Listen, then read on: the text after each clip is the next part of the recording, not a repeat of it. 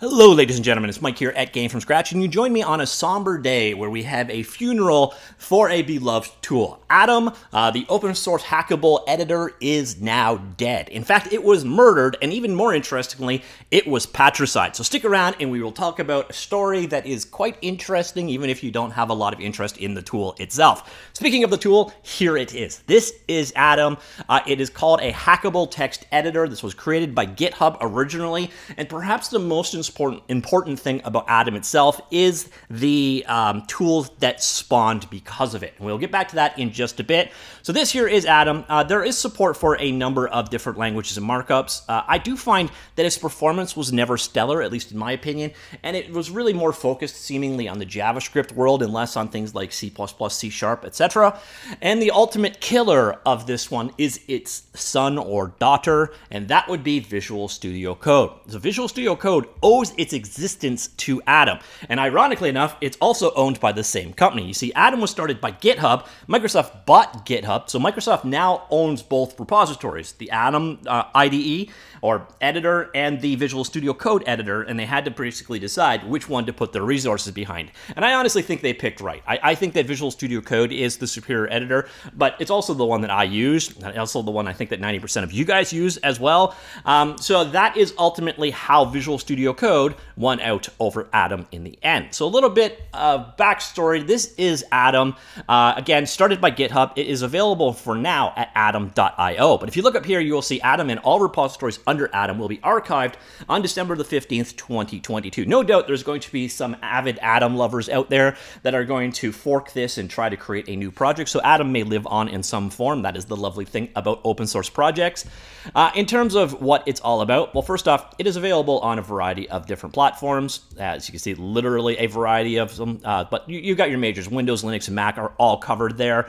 Um, there's projects and extensions out there, such as Teletype for Atom, which allows multiple people to work together on the same repository. Obviously, you have good GitHub integration in Atom, uh, cross-platform on the major platforms. There's a built-in package manager. There's auto-completion, file system browser, multiple panes, find and replace, package system theming, customization, uh, and so on. Now, the key thing behind Atom is a technology that it gave to the world, and that is a technology called Electron. Even if you look here, so here, Atom logo, Electron logo. So the Electron project was originally part of Atom. Uh, it was, and this is basically a way of hosting um, JavaScript or JavaScript VM based applications.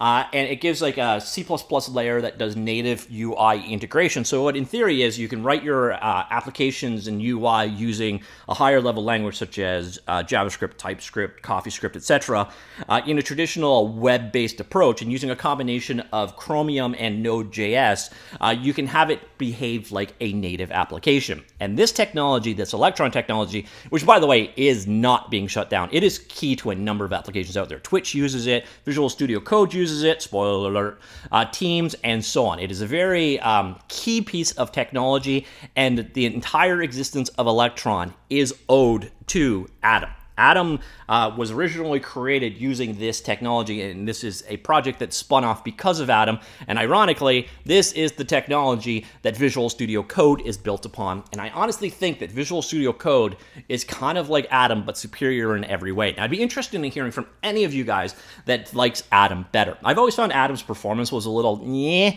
and it was a little too focused on the world of. Um, web, I, I would say in general, uh, very JavaScript oriented in its approach, whereas Visual Studio Code is very language agnostic. But I also find things in Visual Studio Code just, I find the performance better, I find the auto completion better, I find the ecosystem better. I, I just, frankly, find Visual Studio Code better. And so, apparently, did Microsoft. So, Atom uh, is open source. The project is out there. This entire area is going to be archived. Uh, Atom is written primarily in JavaScript. Again, there's that C++ layer that hooks it into uh, the Electron middleware, so you should get uh, better performance because of that. So if you're interested, uh, this is all going to be shut down the end of this year, but I do imagine someone will fork it, or multiple people will fork it, and eventually one of those will become the you know the one true um, leader going forward. But I honestly, I think at this point in time that Visual Studio Code just won it. And at the same time, um, JetBrains are working on something called Fleet. Uh, and it's getting competition from many areas. So in some ways, I almost look at Atom as a proof of concept that ultimately gave us Electron. And Electron is powering tons of super important applications that are out there, including Visual Studio Code. So if you're interested, you can drop in, read their official statement on uh, why they were killing Atom, although it's perfectly obvious, right? Microsoft bought GitHub, owns two IDEs. One is better than the other, uh, and yeah, let's just go with the one that works. So I agree with the, the, the idea, though I know a lot of people are very tied to their code editor of choice. So I know there's some people out there that are going to be very depressed on this one.